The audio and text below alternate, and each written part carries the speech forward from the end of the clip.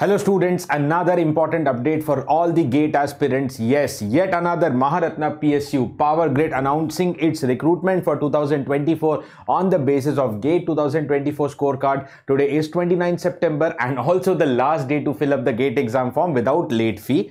Okay, you can also fill up up to 13th October, but you have to pay extra amount. So why you, why you should bear that? But yes, you know, if you were, you know, ambitious to work uh, in power grid and uh, definitely if you have not filled the gate exam form you may definitely be aware about this. So now let's come up to the notification. So when you go to the job opportunity section under the power grid you'll be finding clearly okay the recruitment of engineer trainee 2024 through gate 2024 and you know i've opened this advertisement. You can directly click here. And there is a detailed advertisement in front of you. Okay i'll tell you the important bullet points of this advertisement. As you all know it's a maharatna psus uh, the uh, important branches, important things. See, of course, you are recruited as engineer trainee and for the branch of electrical, electronics, civil and computer science disciplines, it has been announced okay for this particular time so if you are any of these branches electrical electronics civil and computer science stay tuned. And it's more like a detailed notification although proper dates are not given but it's not a short notification also. Several details are there. So let's discuss about those details in this particular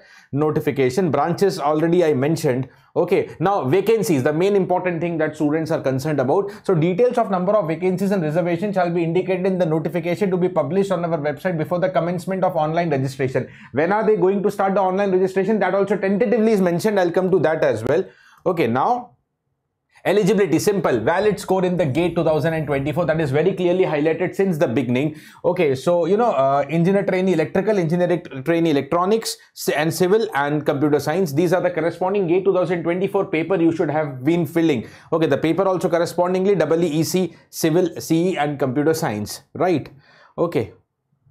All right, okay. So now let's move ahead. Upper age limit will be 28 as of 31st of December of this particular year, 2023. and now if you want to see because you know what exactly your branch is if you want to check for electrical your branch can be electrical or electrical power electrical electronics that is uh, electrical electronic engineering triple E branch power system engineering or power engineering similarly they have mentioned the list okay like for computer science it is simply computer science or computer engineering or even IT is eligible civil it is civil engineering for electronics electronics electronics and communication electronics and telecommunication electronics and electrical and simply telecommunication engineering branches are also available but this is the important thing minimum 60 percent or equivalent CGPA in the BTech is also required here. Okay, so that's normally expected for most of the PSU. 60% is on lower side only.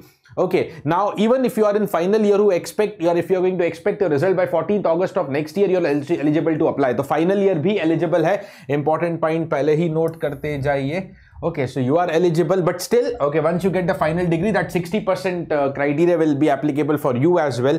Okay, now let's come to some other important points okay let's come to some other important points to be covered here. Now very very important selection process. The number one is the gate 2024 score only but there is also gd and pi that i will tell you. Okay so these are the papers that already we discussed. Okay the selection charge consists of marks obtained out of 100 in the corresponding paper of gate 2024 okay gd and pi that's what i told you. There are these three elements what is the weightage of all wo bhi mentioned okay in case uh, you know if your paper is going to be conducted in two different slots okay like suppose uh, civil engineering uh, you know conducted in two slots i don't know what is going to happen of 2024 it is not yet announced but agar kisi paper two slots mein hota hai to normalized marks will be out of 100 will be considered okay. Normalized marks will be considered that is also a very natural thing that you should know. Okay now as i told you as I told you, candidates shortlisted for the GD and interview shall be required to bring the documents and very important thing, very important thing, there is a qualifying percentage in the interview. Okay, whatever total marks they fix for interview suppose 100 marks you should have got minimum 40 percent. That is 40 marks in the interview.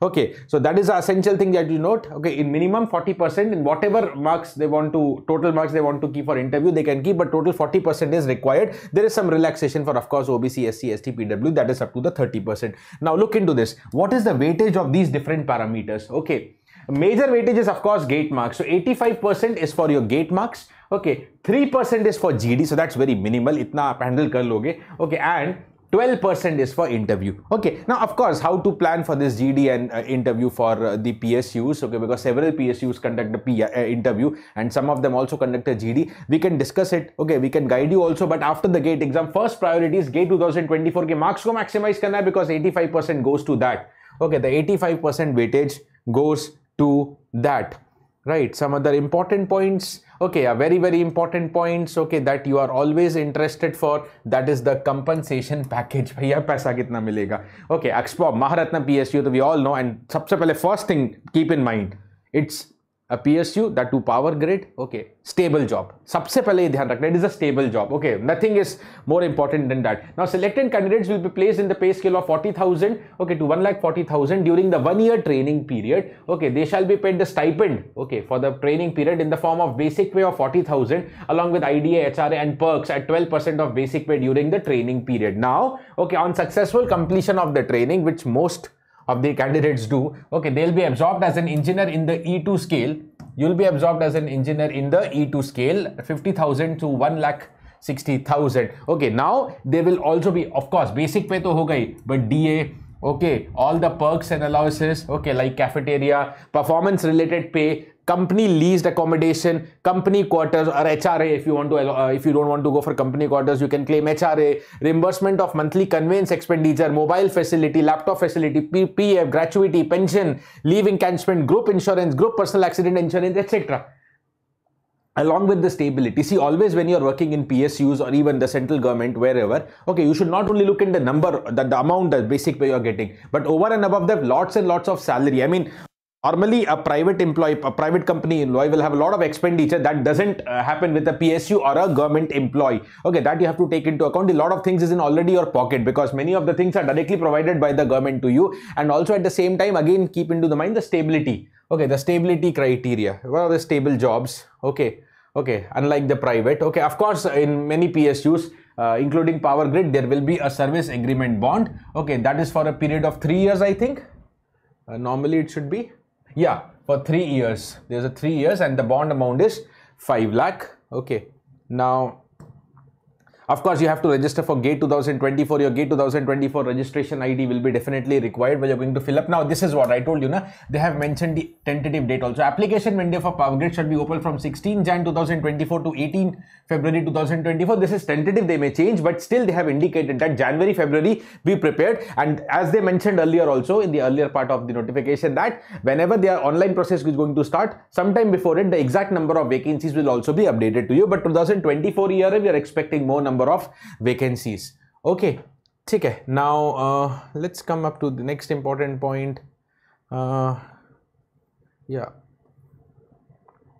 Okay now Gate 2024 online application, as you know, closing date is just today, that is 29 September. In case you still, uh, you know, have not filled up uh, by chance, okay, and if you want, see, step by step, day by day, PSU notifications are coming up and list will increase, we know, okay, so you can still fill it up, okay, uh, today itself or with a submission of late fee, you're eligible to fill till 13th October, but I don't usually suggest it, jitna jaldi karo, don't spend any extra money here on these processes at least. Okay, so commencement of online application of uh, application to Power Grid. Already I told you 16 January and uh, it will be there till 18 February, but these are tentative in nature.